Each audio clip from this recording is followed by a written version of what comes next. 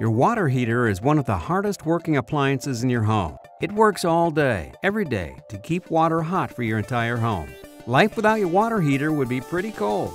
Let's have a look inside. Your water heater is a storage tank for hot water. When hot water is used, it's replaced by cold water. A heating element heats the water and it's stored and ready for the next time.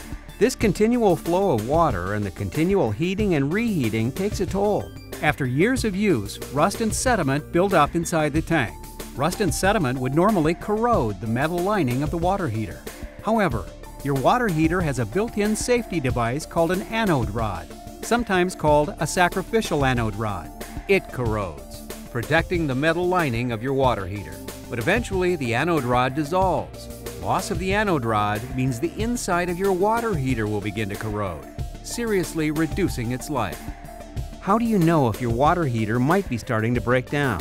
It gives off some obvious signs, which include the water heater isn't heating enough hot water, there's no hot water at all, water drips or leaks on the floor around the water heater, or you hear a crackling noise when it's heating.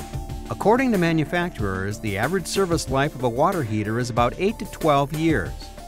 Annual flushing of your water heater can help reduce the effects of sediment and rust buildup and extend its life.